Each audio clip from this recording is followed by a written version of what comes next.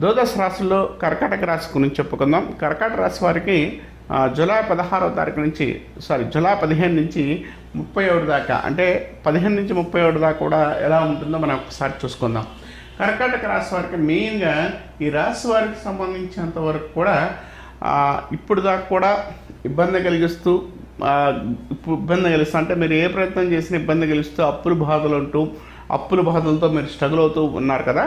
ఆ స్ట్రగుల్ నుంచి బయటపడుతుంటారు అని చెప్పొచ్చు. అంటే ఆ అప్పుల బాధలు ఎవరైతే మిమ్మల్ని ఇబ్బంది పెట్టాలని ఇబ్బంది పెట్టి ప్రాబ్లం ఫేస్ చేస్తూ ఇబ్బంది కలిగిస్తున్న అప్పుల బాధలు మీరు అప్పులు ఇవ్వాల్సిన కానీ మీకు అప్పులు రావాల్సినవి కానీ కొంత సాల్వేషన్ అనేది ఈ రాశి వారికి ఈ టైంలో ఉందని చెప్పుకోవచ్చు. అంటే ఈ టైంలో ఆ సాల్వేషన్ జరగడానికి అవకాశం కలిగి ఉంటారు.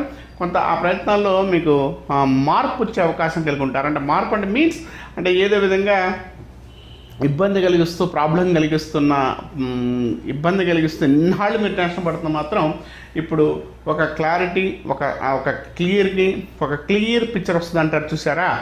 ఇది ఇప్పుడు వచ్చే అవకాశం మాత్రం కర్కాటక రాశి వారికి ఈ టైంలో ఎక్కువగా ఉందని చెప్పుకోవచ్చు.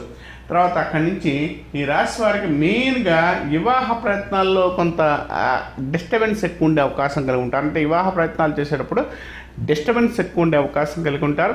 వివాహ ప్రయత్నాలు కొంత అనుకూలంగా ఉన్నా కూడా ఏదో వెనక ముందుకు లాగడం అంటే ఎవరో వాళ్ళు వచ్చి అబ్బే ఈ అమ్మాయి బాగుండదు అనడం లేకపోతే ఇంక ఈ అమ్మాయి విషయంలో ఇబ్బంది కలిగించింది అనుకోవడం అంటే ఆ సెట్ అవుతుంది అనుకున్న టైంలో సెట్ కాపాడడం ఇలాంటి వివాహ ప్రయత్నాల్లో ఇబ్బంది కలిగించడానికి అవకాశం కలిగి ఉంటారు. కాబట్టి ఈ రాశివారు కొంచెం మీరు వివాహ ప్రయత్నాలు చేసుకునేటప్పుడు మాత్రం కొంచెం పోయి ఆంజనేయస్వామికి ఒకసారి దండం పెట్టేసుకోండి. లేదా రాముడికి సీతకి సీత అమ్మవారికి కొంచెం మీరు ఆ కొంచెం అంటే వివాహ సంబంధించాల్లో ఇబ్బంది కలిగించకుండా ఉండడానికి కొంచెం అక్కడ దేవుడికి అర్చన చేయించుకొని వివాహ ప్రయత్నాల్లో చేసుకోగలిగితే చాలా ఉత్తమము అంటే చాలా అనుకూలమైన కాలం అని చెప్పుకోవచ్చు.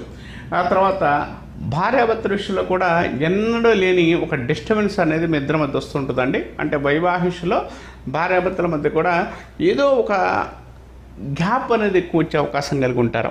ఈ గ్యాప్ను ఎక్కువగా ఆలోచించుకుంటూ మెంటల్గా టెన్షన్ పడే అవకాశం కలిగి ఉంటారు. కాబట్టి ఈ రాశి వారు ఈ టైంలో మాత్రం కొంచెం జాగ్రత్త కలిగితే అంటే జాగ్రత్తగా చూసుకోగలిగితే ఆ డిస్టర్బెన్స్ కూడా మీకు తగ్గడానికి అవకాశం కలిగి ఉంటారు అని చెప్పుకోవచ్చు.